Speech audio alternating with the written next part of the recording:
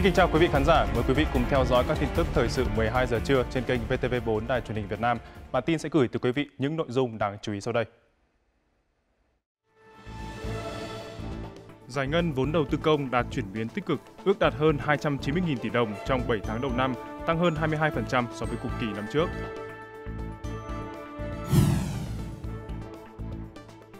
Thêm một tuyến vận tải hàng hóa bằng đường sắt giữa Việt Nam và Trung Quốc được đưa vào vận hành, góp phần nâng cao năng lực vận tải liên vận quốc tế, tạo thuận lợi cho xuất khẩu.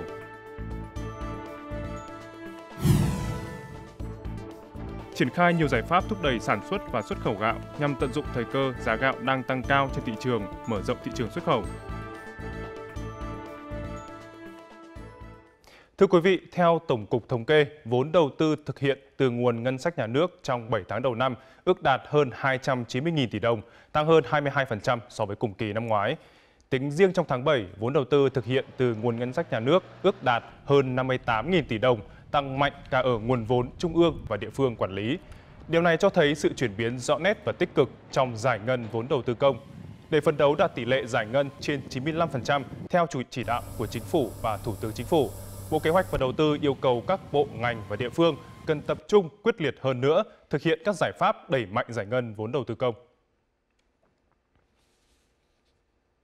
Hôm nay là tròn 2 tuần kể từ khi sàn giao dịch trái phiếu doanh nghiệp riêng lẻ chính thức vận hành.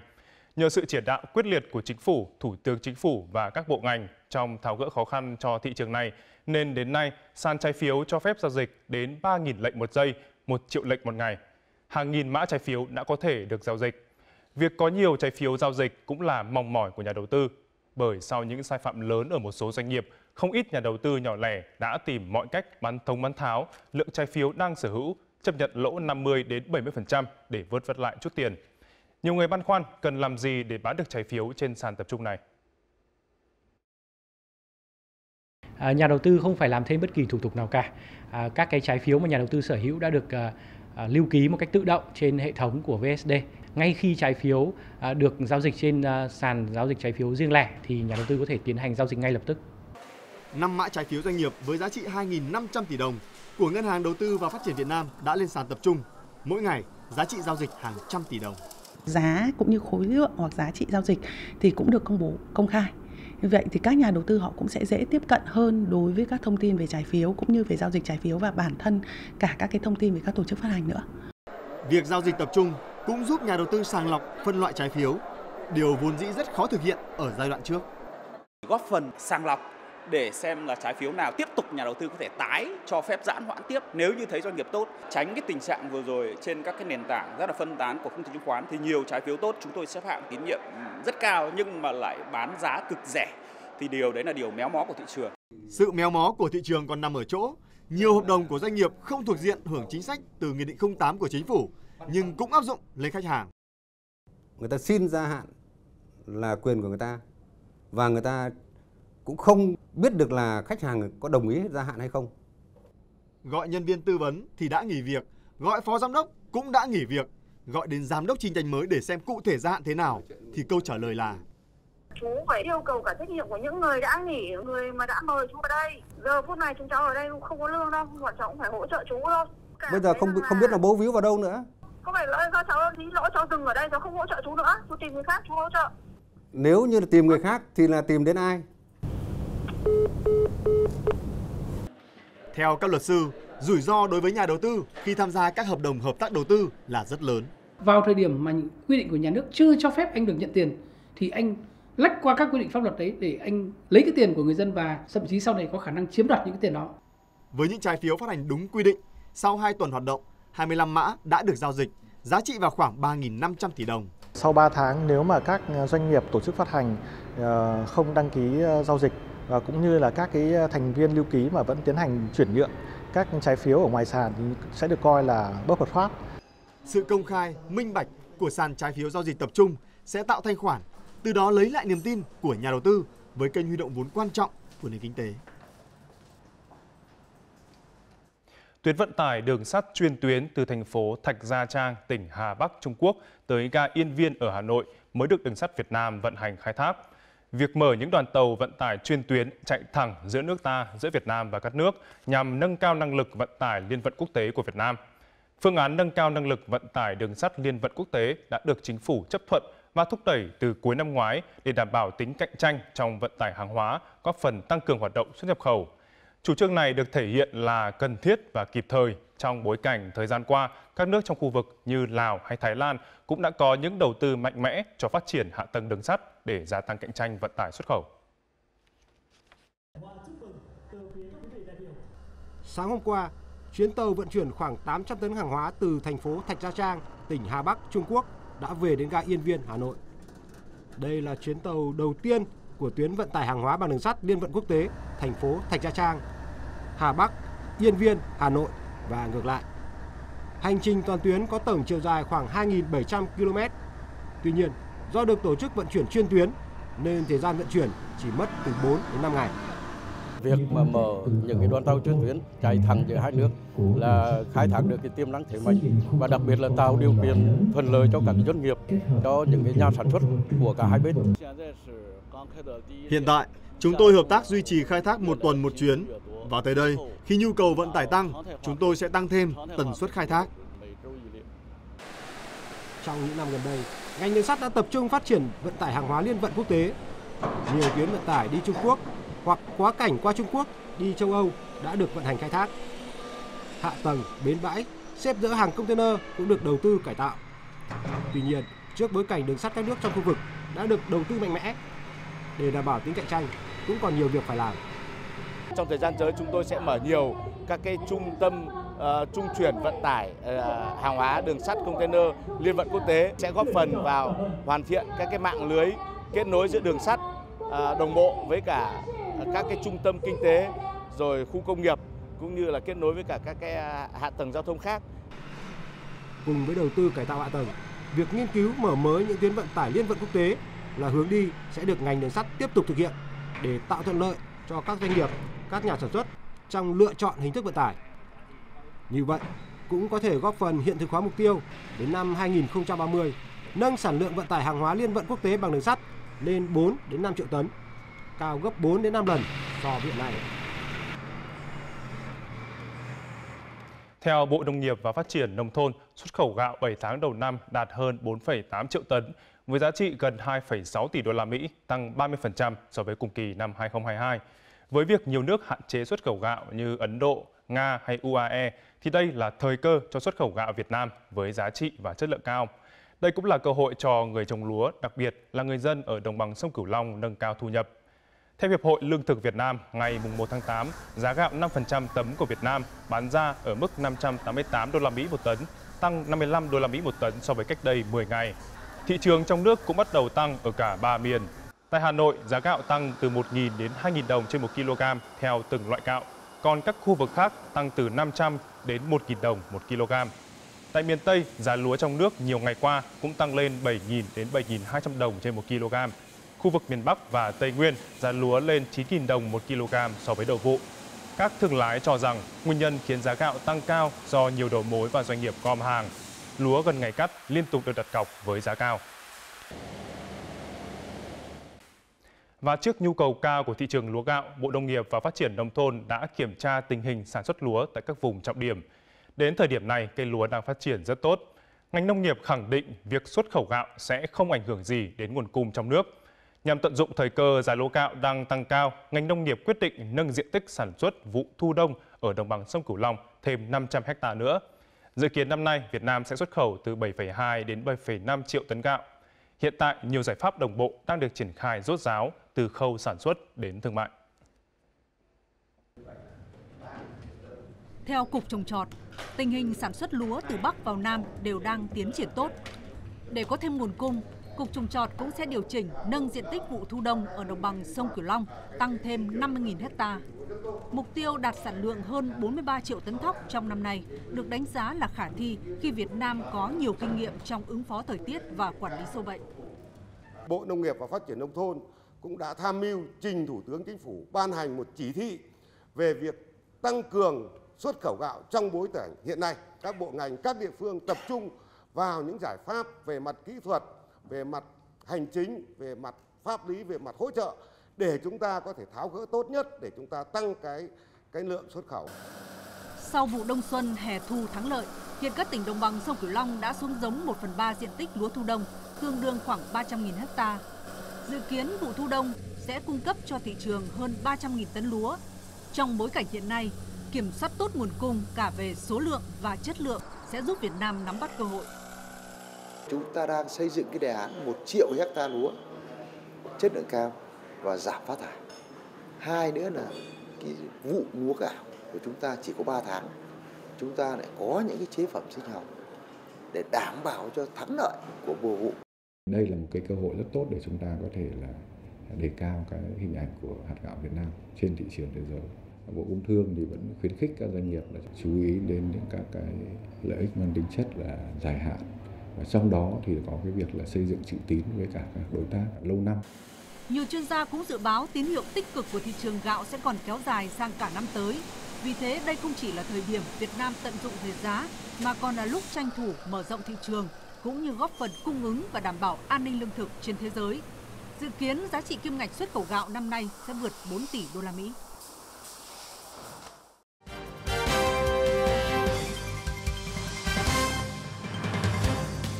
Tiếp theo hãy cùng chúng tôi điểm qua các bài viết đáng chú ý về Việt Nam trên các trang tin quốc tế trong vòng 24 giờ qua.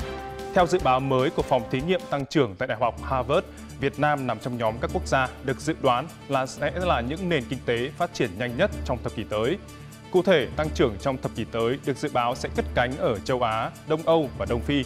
Và Việt Nam là một trong những nước châu Á có mức độ phức tạp kinh tế cần thiết để thúc đẩy tăng trưởng nhanh chóng trong thập kỷ tới cho đến năm 2031. Theo Ricardo Hausmann, giám đốc phòng thí nghiệm tăng trưởng và giáo sư tại trường Harvard Kennedy, các quốc gia đã đa dạng hóa sản xuất sang các lĩnh vực phức tạp hơn như Việt Nam hay Trung Quốc là những quốc gia sẽ dẫn đầu tăng trưởng toàn cầu trong thập kỷ tới. Theo số liệu của Ngân hàng Thế giới World Bank, bình quân đầu người của Việt Nam tăng lên 4.163 đô la Mỹ vào năm 2022, đứng thứ 6 trong số 10 nước ASEAN.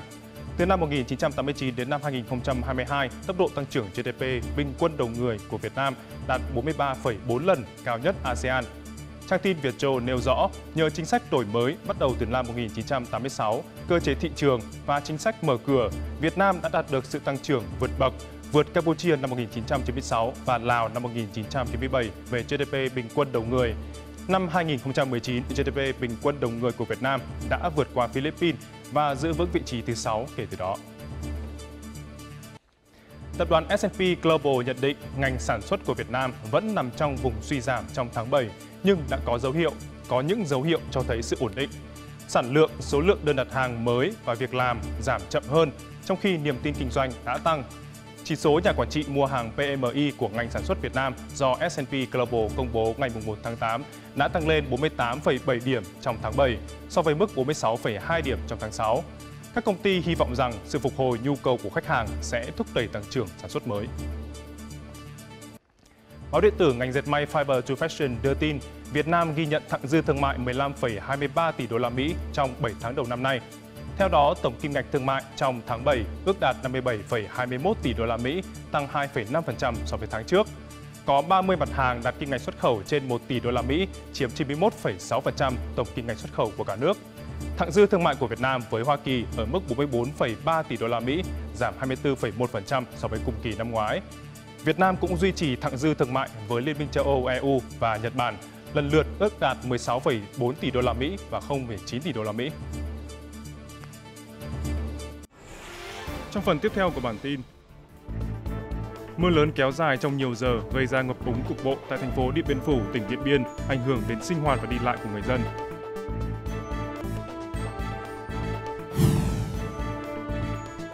Triển lãm các tác phẩm của cố họa sĩ Nguyễn Sáng, một trong tứ đại danh họa của nền mỹ thuật hiện đại Việt Nam, tôn vinh đóng góp của họa sĩ cho nghệ thuật nước nhà.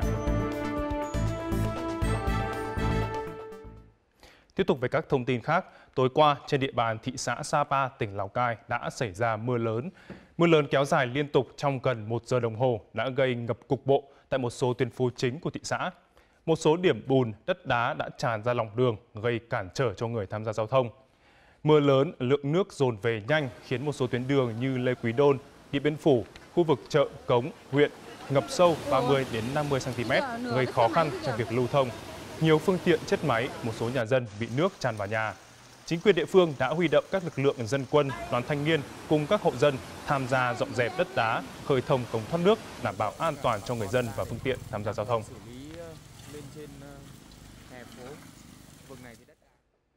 Cũng trong đêm qua thì trận mưa lớn kéo dài đã khiến nhiều tuyến đường và khu vực dân cư trên địa bàn thành phố Điện Biên Phủ, tỉnh Điện Biên bị ngập sâu, ảnh hưởng nghiêm trọng đến tài sản và đời sống của người dân.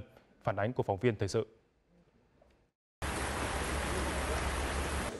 Trên tuyến đường Võ Nguyên Giáp, nhiều đoạn ngập sâu tới 1 mét, không phương tiện nào có thể lưu thông. Từ đầu năm đến giờ chưa có trận mưa là nó to lớn như này, đường ngập hết, tất cả các tuyến đường ngập, rất nhiều đường ngập. Nước là rất là cao là không đi được, là các xe, rất rất nhiều xe bị chết máy. Chỉ sau 30 phút mưa lớn, nhiều khu vực của thành phố Điện Biên Phủ bị ngập nặng, nước tràn vào nhà và làm ảnh hưởng đến đồ đạc cũng như hàng hóa của gia đình. Ướt hàng à, quần áo rất là nhiều nên à, chạy không kịp, à, nước vào nhà ngập khoảng tầm 50 phân, vào sâu trong nhà ngập cao lên khoảng 50 phân. Nên em có hai cửa hàng quần áo nên ướt mất một cửa hàng quần áo chạy không kịp còn chạy được một cửa hàng nữa. Trận mưa hôm nay là lớn quá, thế thành ra là là, là ừ, chúng tôi là cũng chủ, chủ động là nập hết các cái nắp cống này rồi, thế nhưng mà nước không kịp rút, Đấy, không kịp rút được. Ở đây là chúng tôi ờ, vừa mở và vừa cảnh giới để cho mọi người đi để tránh cái chỗ này ra. Ngay khi mưa lớn xảy ra, cảnh sát giao thông đã triển khai lực lượng lập chốt ở trước các đoạn đường ngập lụt để tiến hành phân làn giao thông. Cùng với đó, lực lượng dân phòng và một số người dân cũng đã chủ động làm các barrier chắn đường, cảnh báo các phương tiện không đi vào khu vực ngập úng. Tôi đã cùng với ờ, lực lượng dân phòng bảo vệ dân phố ở đây làm giúp đỡ những người dân là di chuyển qua khu đường khu đường này một cách an toàn nhất bằng cách là một là không đi qua tuyến đường này nữa, hai là quay đầu lại để tìm tuyến đường khác đi dễ dàng hơn. Dự báo mưa ở tỉnh Điện Biên sẽ còn tiếp diễn trong vòng 1-2 ngày tới. Nguy cơ xảy ra ngập úng, sạt lở đất. Người dân cần chú ý đề phòng để giảm thiểu thiệt hại. Ngày hôm qua, tỉnh Đắk Nông đã di rời hàng chục hộ dân trong vùng bị ảnh hưởng bởi các vết nứt được phát hiện ở xã Quảng Trực, huyện Tuy Đức. Theo ghi nhận, các vết nứt có chiều hướng mở rộng nên chính quyền địa phương đang tăng cường giải pháp đảm bảo an toàn cho người dân. So với ngày hôm qua thì à, vết nứt đã mở rộng hơn và kéo dài thêm khoảng 300 mét hướng về phía à, hạ lưu đập thủy lợi Đắc Kẽ. Chính quyền địa phương đã cắt cử lực lượng túc trực theo dõi và sẵn sàng ứng phó khi có tình huống xấu xảy ra. Là một trong 46 hộ dân nằm trong khu vực bị ảnh hưởng do vết nứt, gia đình chị Thị Y Anh đang được chính quyền địa phương vận động di dời tới nơi an toàn.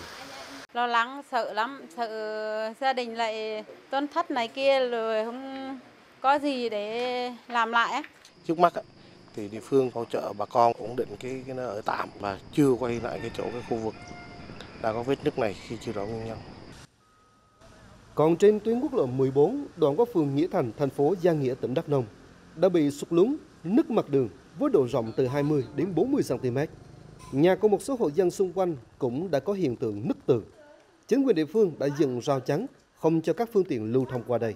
Phần lớn là do cái lượng mưa trong 4 ngày qua trên 300 mm à, cùng với cái khả năng cũng, cũng nền địa chất khu vực cũng có uh, yếu nên cũng có xảy ra cái hiện tượng trên. Hiện các hộ dân đã được di dời ra khỏi khu vực nguy hiểm tới nơi an toàn. Ủy ban nhân dân tỉnh Đắk Nông đã chỉ đạo các đơn vị liên quan khẩn trương kiểm tra, nghiên cứu, tìm hiểu nguyên nhân cụ thể để có phương án xử lý phù hợp.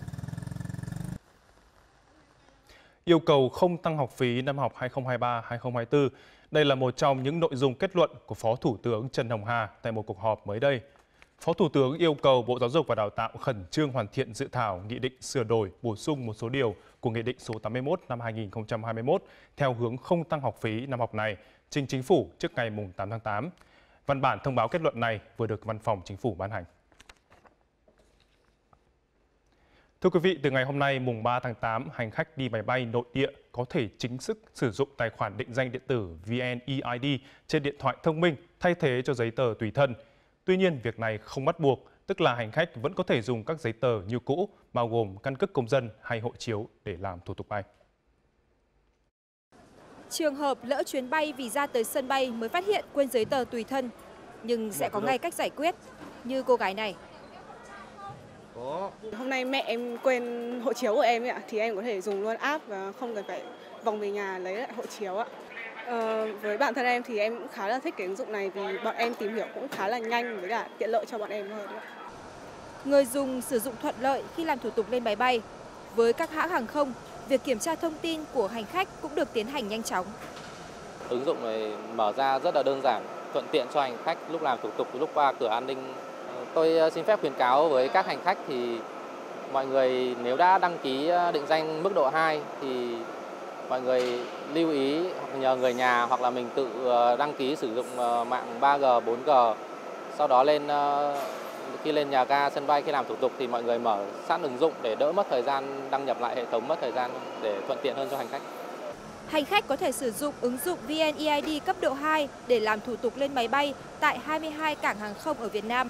Bên cạnh những thuận lợi, trong thời gian đầu triển khai, người sử dụng gặp một số trục trặc nhỏ khi điện thoại bị ngắt mạng hoặc có người chưa quen với ứng dụng. Trong thời gian sắp tới, các cảng hàng không sẽ tiếp tục điều chỉnh, mua sắm thêm các trang thiết bị kiểm tra tài khoản VNEID thật, giả, nâng cao các tiêu chuẩn kỹ thuật để nhằm giúp hành khách làm thủ tục tại sân bay nhanh chóng và tiện lợi. Bảo tàng Mỹ thuật Việt Nam hiện đang trưng bày các tác phẩm của cố họa sĩ Nguyễn Sáng nhân 100 năm ngày sinh của ông. Là một trong tứ đại danh họa hiện đại của Việt Nam, phái Sáng Nghiêm Liên, Nguyễn Sáng có nhiều đóng góp tiêu biểu cho hội họa hiện đại Việt Nam với di sản hơn 100 tác phẩm. Ông cũng là họa sĩ hiếm hoi của nền mỹ thuật Việt Nam, có hai bức tranh là bảo vật quốc gia. Bảo tàng Mỹ thuật Việt Nam hiện trưng bày 8 bức tranh của danh họa Nguyễn Sáng, trong đó có 5 bức tranh nhận giải thưởng Hồ Chí Minh về văn học nghệ thuật và đặc biệt có một bức tranh được công nhận là bảo vật quốc gia năm 2013. Đó là bức tranh Kết nạp đảng ở Điện Biên Phủ. Bức tranh Kết nạp đảng ở Điện Biên Phủ và bức tranh Sơn Mài Thanh niên thành đồng của họa sĩ Nguyễn Sáng được công nhận là bảo vật quốc gia. Ông được truy tặng giải thưởng Hồ Chí Minh về văn học nghệ thuật với hai bức tranh này cùng các tác phẩm khác là Giặc đốt làng tôi nghỉ trưa, chú mưa, thiếu nữ và hoa sen. Nét nổi bật sáng tạo của Nguyễn Sáng là sự cách tân trong lĩnh vực sơn dầu, sơn mài.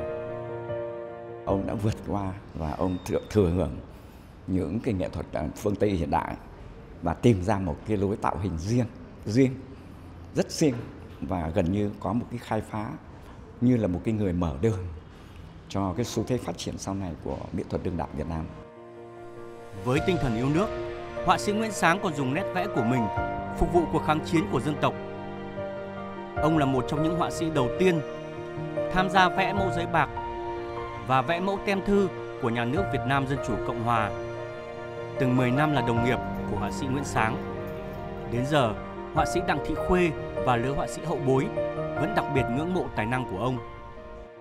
Người nghệ sĩ này đã cống hiến bằng tất cả cái năng lực của mình và cái tài năng của ông không thể hiện ở một góc độ ở một chất liệu thôi Đấy, mà nó có thể là nó ở ở mọi lĩnh vực ông đều chiếm lĩnh cái vị trí hàng đầu cùng với những tài hoa như Bùi Xuân Phái, Nguyễn Tư Nghiêm, Dương Bích Liên, họa sĩ Nguyễn Sáng đóng vai trò nổi bật trong việc đưa mỹ thuật nước nhà lên một tầm cao mới. Ông ra đi gần 4 thập kỷ, nhưng những tác phẩm của Nguyễn Sáng vẫn khẳng định giá trị mẫu mực với nền hội họa Việt Nam.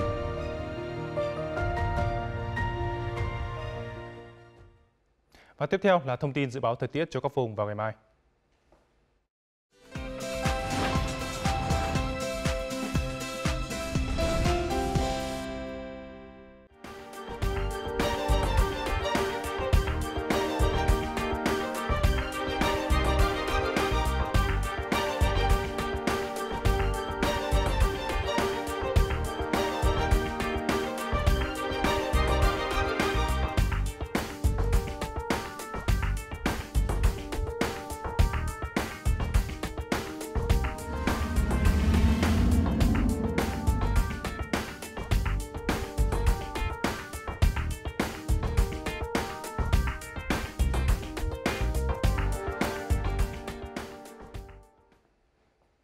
Bản tin thời sự 12 giờ trưa của chúng tôi cũng xin được khép lại tại đây. Xin cảm ơn sự quan tâm theo dõi của quý vị.